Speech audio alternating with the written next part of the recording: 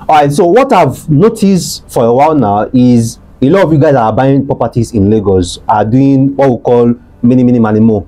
So just trying your luck based on the location that you are trying to buy. Ideally, as an investor, there should be some certain criteria for you that you look out for in a location that you are about to buy a property. Now, before you fall for all the drone shoots, all the nice presentations, I've done the homework for you. And in this episode, we are going to be looking at five things you should look out for, particularly when you want to buy a property here in Lagos for investment. Either it's land, you want to buy the land for land banking or land flipping, is an apartment, is a house, and you want to buy that property for rental income, for short let, or for whatever cash flow that you want to earn from that property. What are the five things you should be looking out for in that particular property for you to decide that this location match and this location does not match? So with me on this episode, as usual, it won't be me doing a lot of all the talking. I want to be resting these days, you know. Let's let people be doing the talking. So with me, I have a great colleague who understands the Lagos market very well. Done a lot of um, properties around Ibejuleki, around Ekpe, and even here on the mainland around Anthony, Maryland, and he can use his um, vast wealth of experience of understanding the Lagos real estate market to now educate you on the different things you should look out for when you are looking at buying or investing in Lagos real estate. So with me today is uh, Mr. John. Nice to have you on the show. Thank you for having me. Yeah, yeah, and we'll be looking at the different things investors should look out for. Um, you know, Lagos is like the hotspot location here in Nigeria if you are looking to buy real estate, and either is for cash flow, is for capital appreciation. You just can't ignore investing in Lagos. The population is there, the demand is there, the appreciation is there, the fast rate of development is there, and every now and then the Lagos government will say always come with something new. The Lekki International Airport, the food and logistics. So, so it just shows you that a lot of a lot of things is happening in Lagos. Yeah. So, and with all these things happening, also real estate in Lagos will continue to become more valuable. Yes. So, as an investor, and I how to invest in Lagos, and I'm looking at the Lagos map. I'm looking at different locations in Lagos. What's what's the first thing I should look out for? Thank you so much. Um, okay, so before I go into the detail of that, first establish what's your purpose of investment. Investing. Wow, good. Okay, so establish the duration of um, investment when you want to start having Match, uh, returns on, on, that, on that investment. that. Very very important. So once you establish that, then what you should be considering are things like um, accessibility. Okay, great. uh, because uh, as much as possible is the land that appreciate not really actually the building That's true. so what are those factors that make a land appreciate, Appreciate.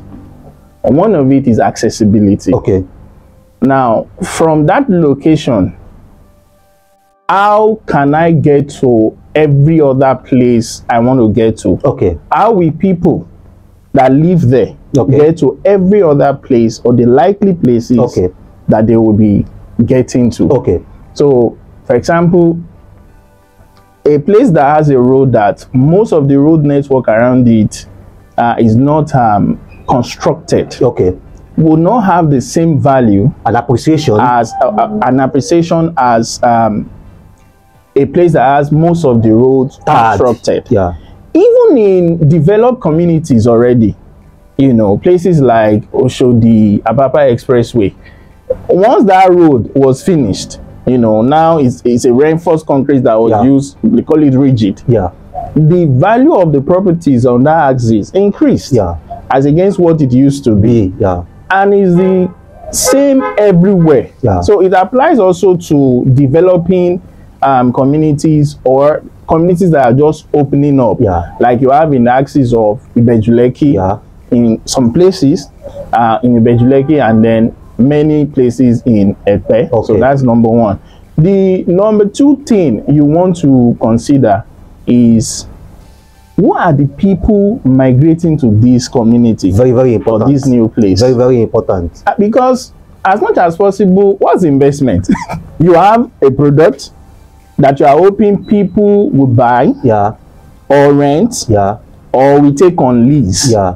so it's about people Yeah. right so what is the caliber of people uh, moving to that area? Exactly. Now, it might be presently, it might also be For sure. future. Yeah. So you can be, it can be a momentary thing. You can also be futuristic Exactly. in your approach. Exactly. And all these things are very important. Very, and that's very. why it's good for investors, especially those in diaspora, to work with guys like you Yeah. that understand the local market. You have adequate local knowledge, can predict based on data.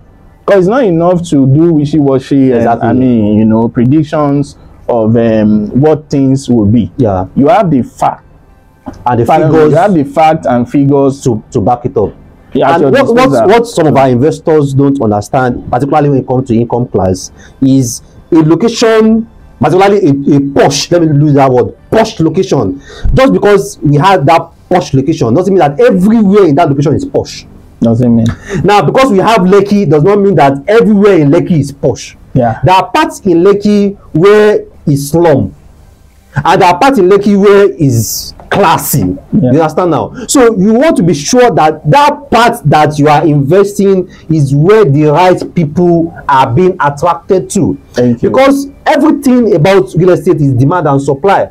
Yeah. And because price will be a big determinant factor, you want to be sure that whatever price you are setting on your own property, you are attracting the people that can pay for it. Affordability. And that's why you see, um, there was one day I was talking to one of my colleagues, and he was telling me that a particular uh, woman, she, she's in diaspora, and then she put a property around um, Orchid, put it out on short let, and then maybe after a couple of months, she just want to sell it with all the furnitures in it. Okay. Basically, because the short was not moving. okay. You, you understand? So, and all these and, always. and- and the reason why short let may not likely move in orchid is that orchid is saturated you get presently orchid is saturated and you have different classes of um, apartments and buildings Yeah. in orchid so still it gives credence to what we are trying to explain here that you should be able to determine based on facts and figures that okay this should be the appropriate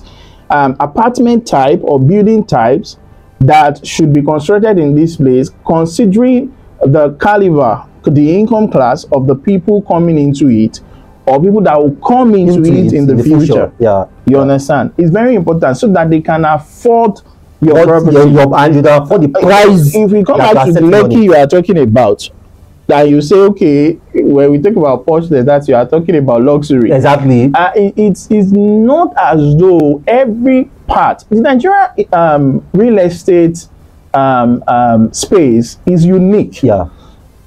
except places like, say, Ikoyi that have premium luxury Yeah. on most of the places. Yeah.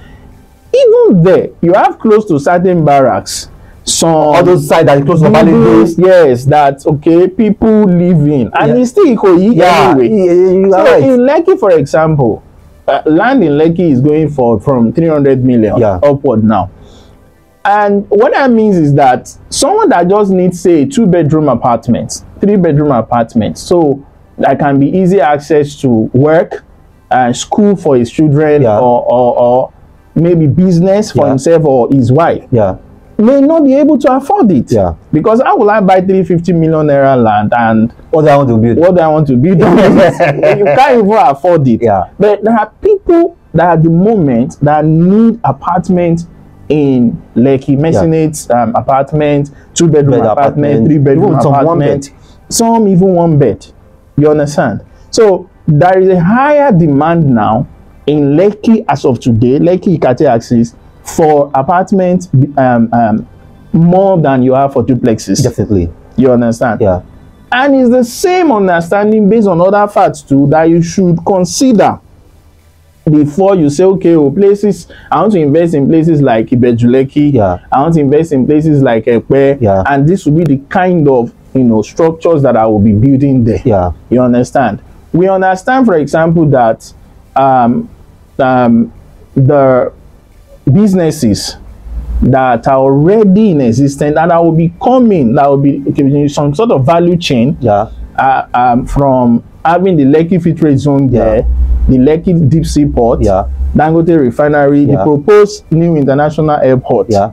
So you should understand that there would be some sort of cluster of income classes. Yeah. So you will have premium, you know, luxury, Yeah. And then you have those um, average average. middle low. trickle down like Yeah, that. So you are the one that should now say, okay, this is what you want to position for this Position for. class is who Thank you. what you are targeting and as a result, this is where I should buy my land. land If I buy my land in social location, this is the kind of building I should build there. exactly to attract, To this attract. particular Thank income you. class that i'm so looking let's say in places border towns with Ekpe at the Ogun State axis. okay You want to be thinking of the likes of what is happening in K2 of today. yeah The Ojota of today. Yeah. Yanopaja of today. Yeah. With respect to the new, I mean, to the Muritala International Airport. Yeah. You understand? So most people, most, not all, of course, most people living in this area are um, young people, Yeah. the demography, Yeah. young people that are just starting their family or have their children in primary school, Yeah.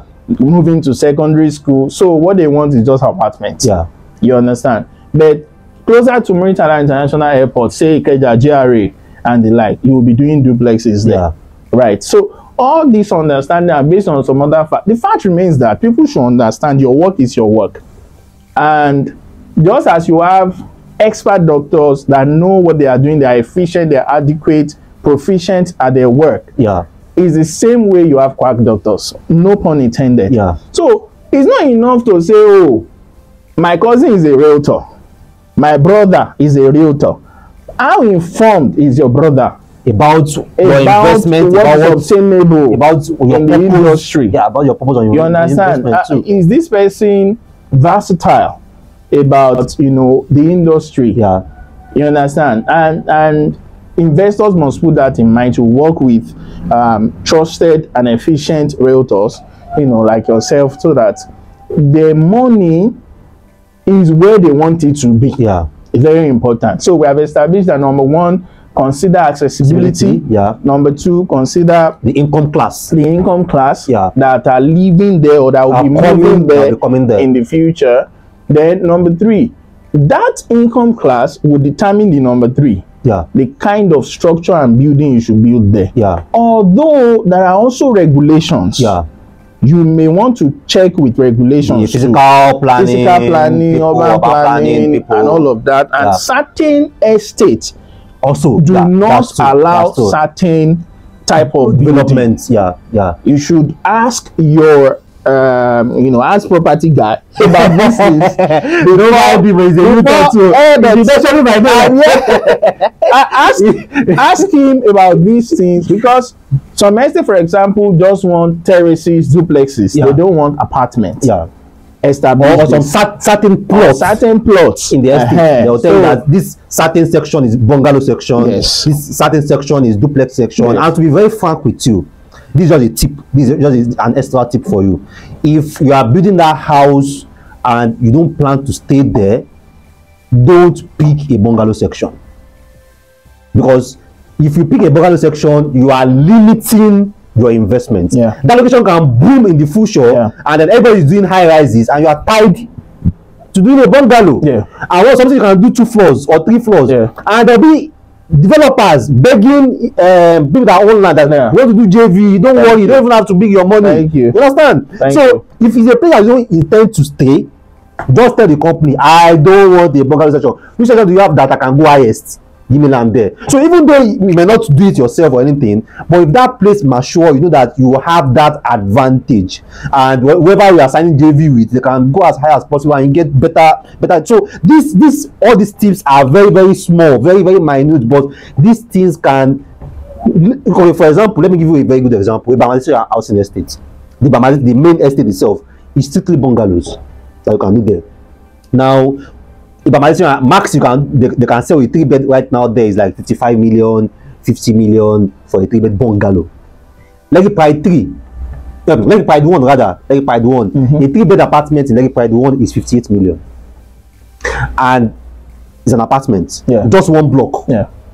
And i can bet you that if they join two semi-detached bungalows in abamadisanya that's fifty-five fifty-five million that's one ten one ten million Hmm. two so you, you own two bungalows there is one ten million you can make Thank you. but that same land size at lekki scheme two you can have that 55 million or 50 million naira abedun you can have six there Thank you. Uh, actually, uh, Rabiu, I was going to add, you know, to listing the points that I I have prepared, that that word land holding, let me use that word, land Okay. I, I know that in law, it has certain interpretation. yeah But what I wanted me to say is land banking in our own industry. okay okay um, investors should understand that your land has higher potential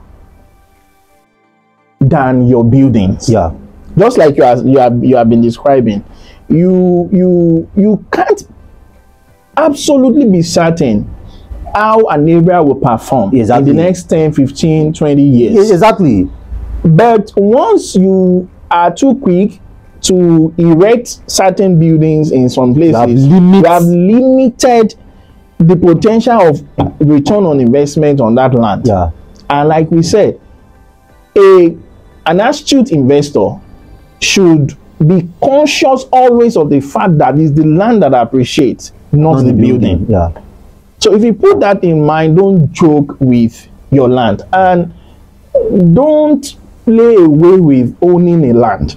I want to say this to all your viewers.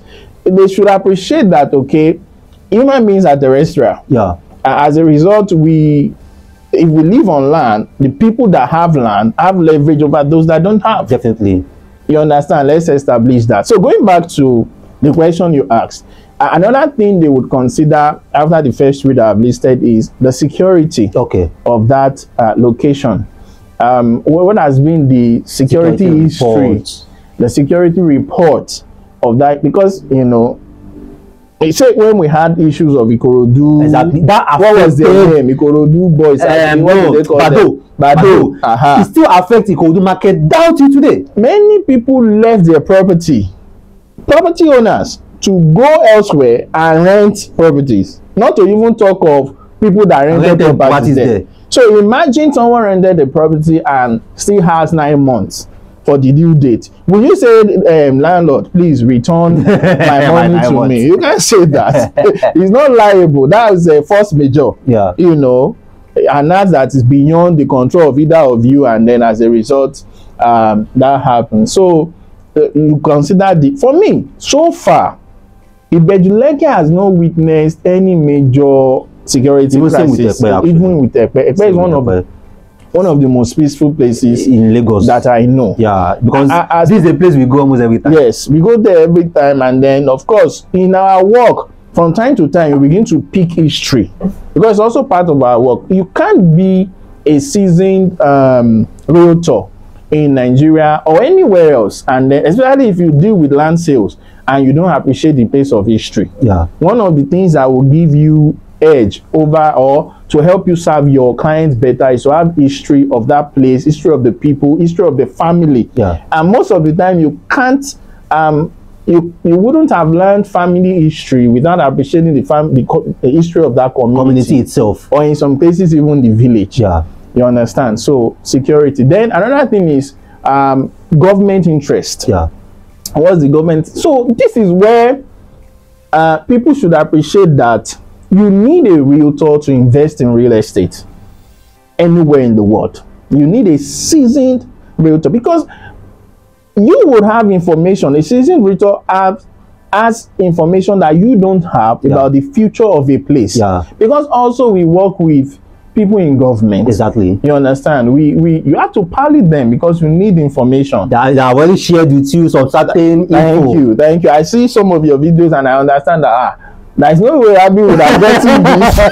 Every expo without a people give me every expo, every expo. So, so, so you you need people that can tell you that okay, see, a land of two million that seem very far today, sir, please buy it because this is the plan of the government for so so so place Yeah. in the next 10 15 years. Yeah, and at times so the funny thing about government project and plan is that at times they come later at times they come earlier. Yeah, you understand? It is um, as event unfold that government decide to say okay let us put this project in motion. Exactly. you understand? And so as much as possible you don't want to live in this place if it is guaranteed that your investment is going to be secured as you are buying cities also go for the bushes That's very important. very important Very because important.